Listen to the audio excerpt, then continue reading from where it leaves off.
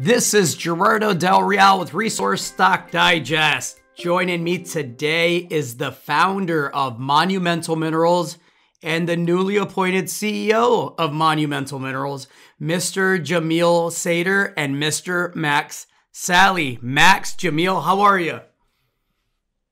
Fantastic. Max, Very good to be here. Thank it, you. It's great to have you both here. Let me start with you, Max. You're you're you're the founder of Monumental. You and I have had conversations about the critical metal space for the past year. We've talked rare earths. You and I initially met oh God, I want to say maybe, and I'm dating myself here now, maybe five or six years ago, maybe longer than that, in Argentina, looking at several lithium projects. And even then, it was clear that the macro trend as it related to the electrification and decarbonization of everything um, was only going in one direction, right? And so here we are, fast forward to 2022, and you just signed a letter of intent to acquire up to 75% of the drill ready Salar de Laguna Blanca project um, in from Lithium Chile. And so I gotta ask you, tell me how long you've been working on this because I know behind the scenes it's something that you've been very excited about for quite some time. Well, as you know, so I, I met you uh, when I was doing corporate development for Gens Lithium in Argentina. I think you're right. About five years ago, 2017. We had the, the asset uh, that company was was sold to Orocobre at the time at the bottom of the market for 70 million. It was an all stock transaction. Orocobre, when we received the shares, was about two dollars, two twenty five, and and they ran to 12 bucks. So anyone that held on did extremely well in that transaction. And I've always kind of wanted to get back into lithium. You know, I have always been an investor in lithium. When when things went sour for a few years in, in 18, 19, I was buying stuff at the bottom and, and making some big gains. And Obviously now with with Monumental, you know, the rare earth aspect is an amazing project. That took a while to get done. But what I've been working on for six months is adding something to that company, and I think lithium brine was the right addition. Uh, as you said, with the macro uh, macro world going now in that in that direction, and, and so you know, looking at projects, as you know, um, the reason why it attracted me to Lithium Chile is uh, I've been watching the company for a long time. Uh, I met the CEO, Steve Cochrane, when I was working at Advantage. He was working for Fission Uranium. We were in the same office. And so I followed the story for a while. And, you know, I think he's the third largest landholder besides SQM and Albemarle in, in Chile. And, you know, what specific asset I liked was the lithium brine cesium asset he had, Salar de Laguna Blanca. And this asset, what's interesting is it's only a six hour drive, which is not far on that part of the world from Cauchari, which is advantaged lithium. And so it's in the lithium triangle. Um, and it's a, and the best thing personally is I like the brine. You know, all these hard rock deposits and all the stuff in Nevada where, you know, water is an issue or you're going to have to come up with new technology. You know, brine always works best. Uh, and the cesium aspect is very, very interesting too, as we are originally a, a rare earth company. So you know, I think the mix is perfect. Uh, the closest producing salar to Laguna Blanca is uh, Salar de Atacama, which is one of the biggest producing salars of lithium in the world, and uh, that's something that I hopefully, you know, one day we can we can see out of Laguna Blanca. Jamil, with your technical expertise, right? Um, give me give me the the the overview of how this fits in well with the flagship, which is the Jemi project, right? Um, yeah, well, there's there's certain um, there, there's definitely a lot of synergies between the two. Um, excuse me. Well, first and foremost, uh, both of these projects, both the Jemi and or Jemi and um, and Laguna Blanca, uh, they are targeted projects um, to provide metals and uh, raw materials that are required for uh, EVs. And um, in, in, this, uh, you know, I've got a diagram up here in front of me.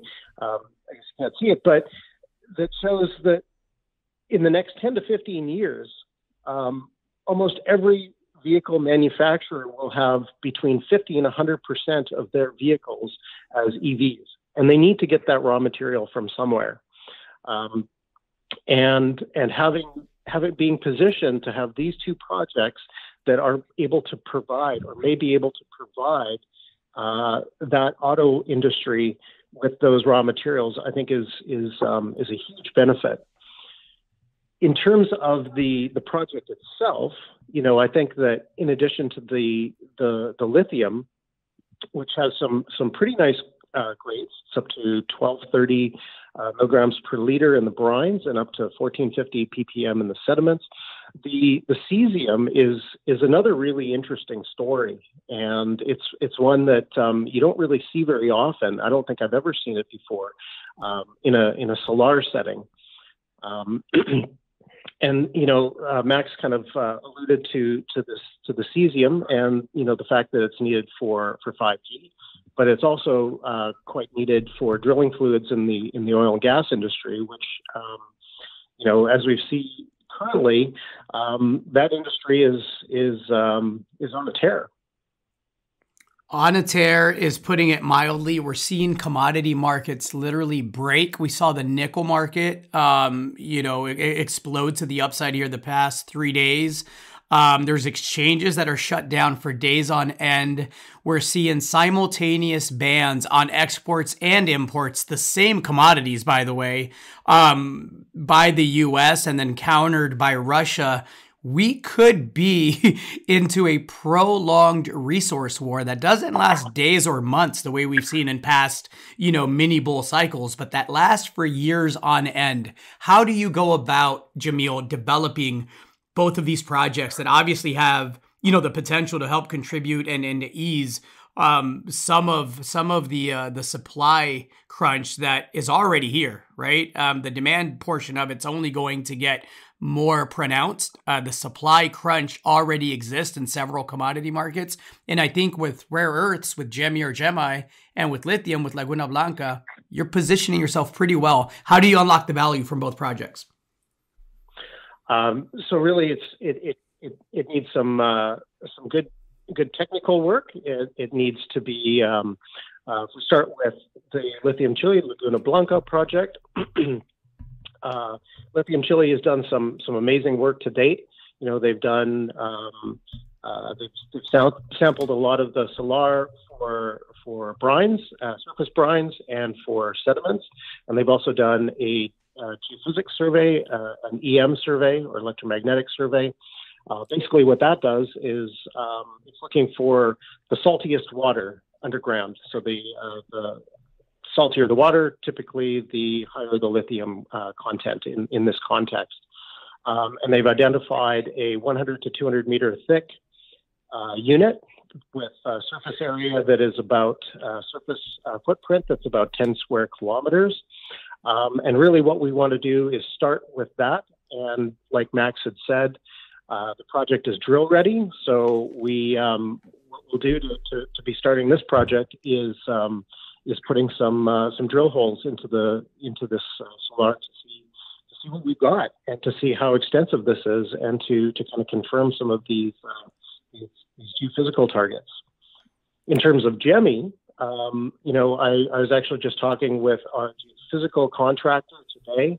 Um, we'll be getting some preliminary results.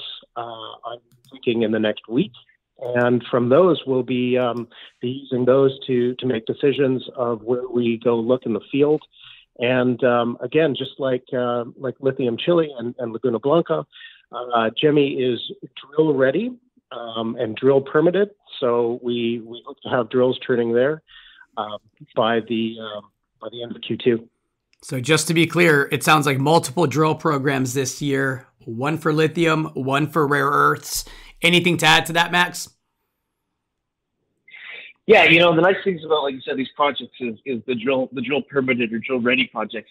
You know, in Chile, uh, getting along with the community, as as you were aware, we were in Argentina together, is, is, huge. And there's been a number of companies that have approached Lithium Chile to do a deal, uh, and they've just rejected the other companies. You know, I get along very well with Steve. He's got good community relations, and to have a, a you know a truck mounted drill rig go and drill 50 to 100 meter holes at the Laguna Blanca that the locals have approved uh, is a huge thing because, as we know, if they don't approve it, I don't care how you can have the Salar de Atacama. If the locals don't like it, good luck, right? And the same with with Jemi is is the locals are okay with what we're doing, and uh, these these are you know they don't have to be the world's biggest projects because of the grade. They can be very very economic, and, and so the community relations with both with both parties on both assets is good for us. And I think uh, you know, with the market, who who would not want us to get drilling right away? And that's what we have the ability to do.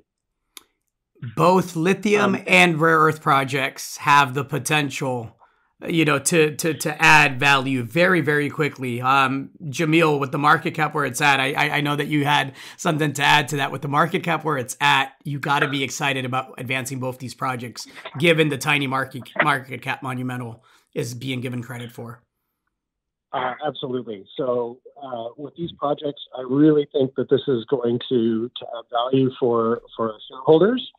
And i really think that um, uh, that again, given the, market for for for uh, raw materials for EVs and the electrification of, of our world, um, and the the price appreciation of both lithium and and rare earths, um, I I really expect to see the market cap of this company of, of our company to grow a lot.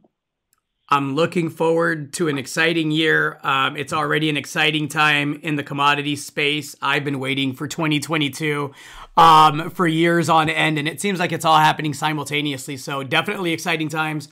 Max Jamil, a pleasure to have you on as always. Thank you so much as always. Thank you very much. All right. Cheers, guys.